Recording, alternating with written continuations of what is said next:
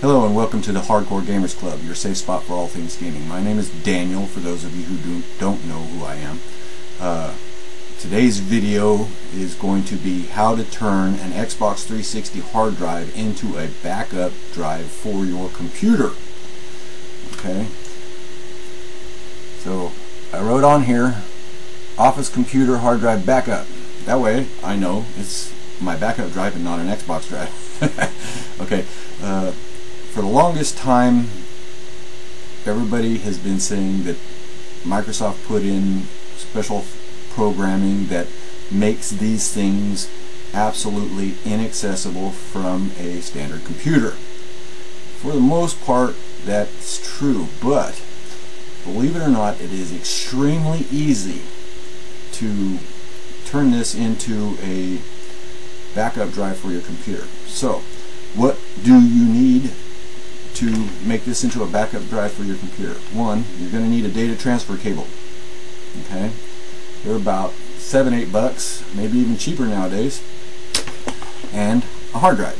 Okay, so now I'm going to switch to a screen capture program and walk you through and show you just exactly how easy it is to wipe the old formatting off of this drive, make it recognizable by your computer and use it for a backup drive for your computer. Okay? Stay tuned. I'll be right back. okay, so first thing you need to do is simple enough. Put that on there. Plug this into USB and then go to your computer. Okay, so the first thing you want to do is go to your computer. I'm using Windows 7 and excuse me Windows 7 Professional so there might be slight variations on whatever operating system you're using but you should be able to find it. Uh, you're going to right click on your My Computer. You can use the start menu and find My Computer there or Computer there.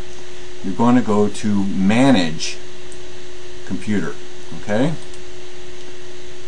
And you'll get a box that looks like this. Computer management. You're going to go to disk management.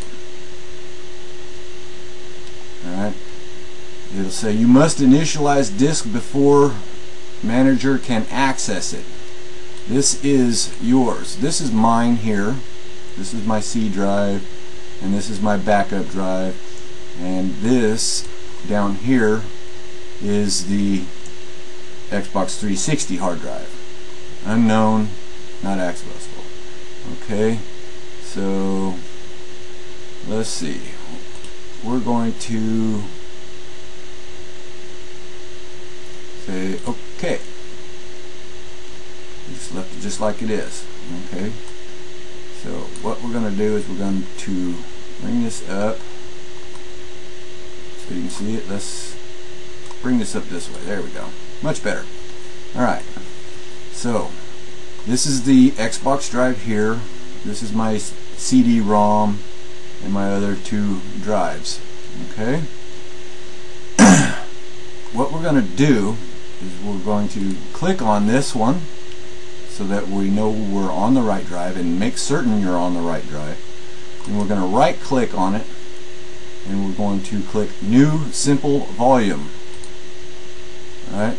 Then it'll pop up Welcome to New Simple Volume Wizard. Click OK. Maximize disk space, minimum disk space, sample volume, simple volume, excuse me. I keep saying sample for some reason. And hit next.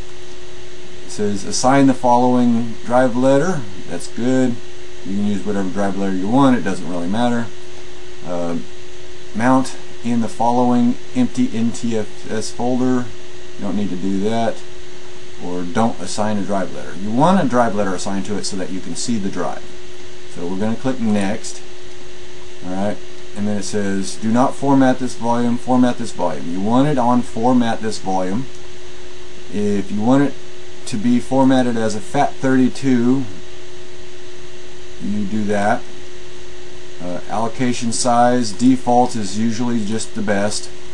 Uh, volume label, you can rename that as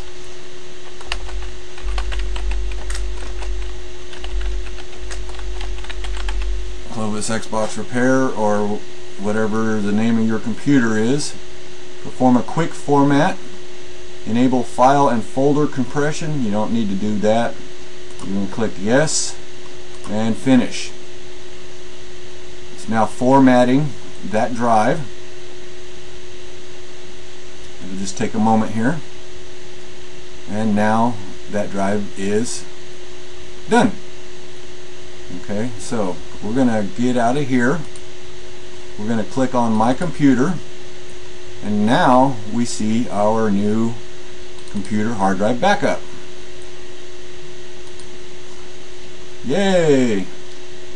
Now all we got to do is just plug the USB of the back of this Xbox 360 hard drive into the backside of my computer and I got a external backup of the drive.